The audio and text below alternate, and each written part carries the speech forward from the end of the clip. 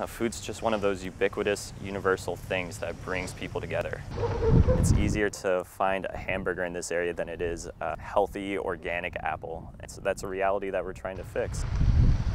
As you can tell, this is a pretty dilapidated community that suffered largely from the 2008 collapse. We're trying to revitalize the community by taking control of a barren food system.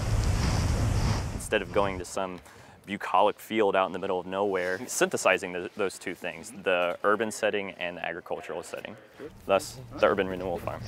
Refurbishing really dilapidated infrastructure like this massive factory that has been abandoned for a number of years and we're trying to transform it into a space where community members can learn how to grow sustainably produced food. And then all of this, I believe, over here is our arugula. Yeah, lots of leafy vegetables. We're working on salad greens, things like that. We're trying to grow some stuff. We've got a lot of different types of plants going. We're just kind of seeing what works and what we can do best. Once you see this place, then you, automatically fall in love and, and it's hard not to get swept up in the optimism. It's so easy to imagine rows upon rows of massive spinach garden, a massive carrot garden, a massive anything garden because of the enormity of the space. We have 400 peppers in the process of growing right now for a woman's sriracha business. Oh, really? Yeah, yeah. Okay. She needed a place to grow a bunch of peppers and this is it. I was exposed to vermiculture operation, a lot of brilliant people. They really inspired me in a lot of ways to take advantage of the resources I have around me.